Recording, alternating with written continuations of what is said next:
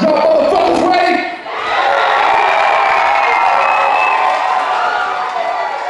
Well, let's get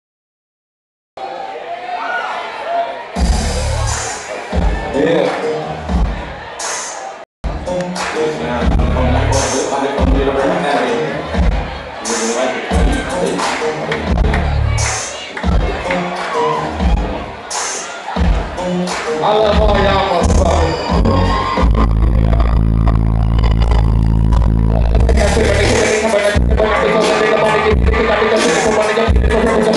Thank